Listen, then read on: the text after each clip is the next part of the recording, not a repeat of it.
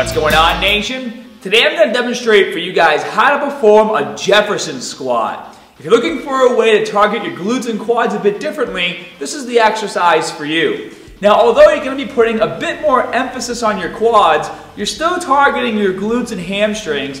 And keep in mind that your calves, lower back, spine erectors, traps, and adductors are to be working as stabilizers throughout the exercise as well.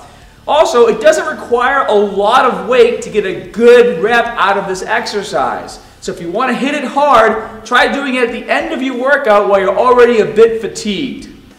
Begin the exercise by approaching the barbell and standing over it with your feet outside of shoulder width. Keep one foot pointing forward and one foot pointing out.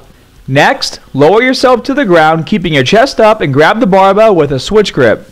Once in place, lift the barbell off the ground by pushing through the heels of your feet. As soon as you reach the top of the movement, begin to lower the barbell back to the ground. Pay close attention to ensure that your knees don't cave in and that they stay in line with your toes. To maximize the exercise, try to alternate your stance over the barbell each set by switching which foot is facing forward and which foot points out.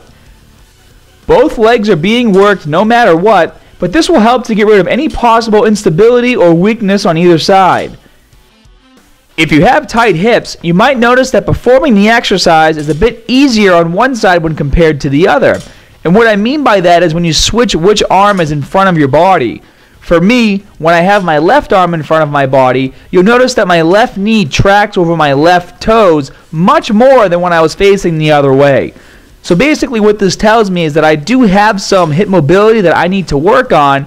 However, I can still perform the exercise and by focusing on proper form, this could also help me fix the issue.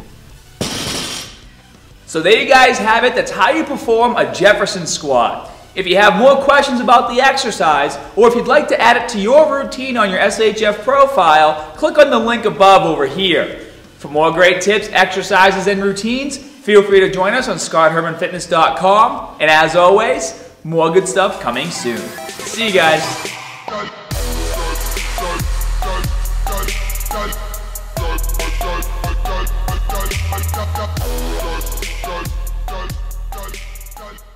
If you're looking for a quick way to switch things up, log into your SHF profile and go to the workout section of the website. Once there, click on the muscles you want to train then you'll be brought to a page where you can further filter down your search. Now you have a complete list of all the routines that target your chest and utilize only a barbell or dumbbell.